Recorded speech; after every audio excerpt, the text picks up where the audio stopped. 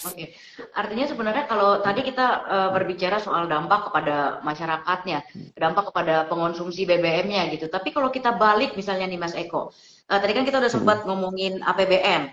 Ketika kita tetap mensubsidi gitu, memberikan subsidi ini, padahal uh, kurang tepat sasaran juga maksudnya uh, apa yang dikeluarkan oleh pemerintah ini karena di, digunakan uh, diberikan kepada orang-orang yang sepertinya mampu gitu membeli pertalite dengan harga yang ditentukan. Kemudian kalau itu tidak dilakukan, kita tetap mensubsidi, apa dampaknya bagi kesehatan APBN kita? Apakah bakal membuat inflasi, kita tembus sampai mencapai 6%, Mas Eko? Oke, uh, tadi pertanyaannya menarik nih. Kalau tidak dinaikkan, emang kenapa begitu ya? Tentu saja beban di APBN gitu ya uh, akan besar di subsidi energi itu gitu aja sebetulnya ya.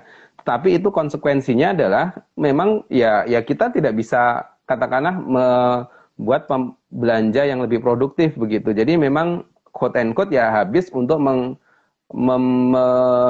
subsidi daya beli masyarakat begitu. Jadi sebetulnya daya beli masyarakat kita itu ya tidak sekuat yang dibayangkan pemerintah juga begitu. Kenapa? Karena sebagian itu kita bisa ma masih mampu membeli itu karena BBM-nya sangat murah begitu. Begitu dinaikkan ya sebenarnya akan pasti ada problem di daya beli gitu. Nah, inflasinya gimana? Ya inflasi akan mengikuti pola lama ya. E, kalau tidak ada kenaikan BBM begitu. Tetap akan naik karena harus diingat yang naik itu tidak hanya energi tapi harga pangan juga lagi naik ya. Beberapa kebutuhan pokok itu tetap naik dan trennya juga akan naik. E, sehingga memang pilihannya sulit ya. Saya tahu bahwa ini tidak mudah gitu, tetapi kalau kemudian ada pangan naik, ada energi naik, sementara sebetulnya kelas menengah itu juga eh, katakanlah ya yang menikmati pertalite saat ini itu memang juga punya tabungan begitu, eh, sebetulnya dia masih bisa untuk katakanlah kenaikan seribu atau dua ribu tadi itu kemungkinan masih bisa ditoleransi sebetulnya begitu. Tapi kalau ditanya pasti nggak ada yang mau kan harga lebih tinggi itu nggak ada yang mau. Tapi kalau dibalik pertanyaannya, apakah uh, pemerintah, uh, apakah anda juga misalkan pengen pemerintah membangun infrastruktur kah atau membangun daerah kah atau mengatasi persoalan stunting? Maka pasti orang yang pakai pertalite pun juga akan bilang, saya juga pengen pemerintah melakukan itu. Gitu.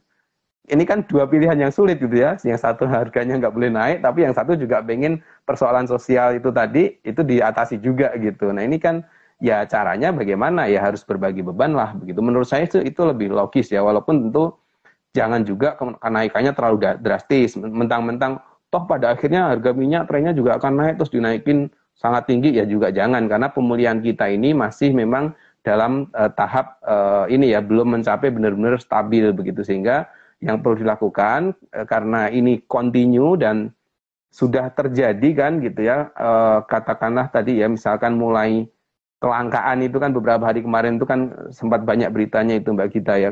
Yeah. Mau gimana ini kalau didiamkan hanya dengan 2-3 juta kiloliter tadi terus tidak ada pembatasan misalkan pertalite hanya boleh digunakan motor saja atau atau dan kendaraan umum saja misalkan begitu ya atau uh, yang lain gitu. Nah itu ya nggak akan sampai ke Desember gitu karena memang uh, pertumbuhan kita lebih tinggi otomatis butuh energi lebih banyak begitu. Mobilitasnya juga lebih tinggi daripada tahun lalu kan begitu.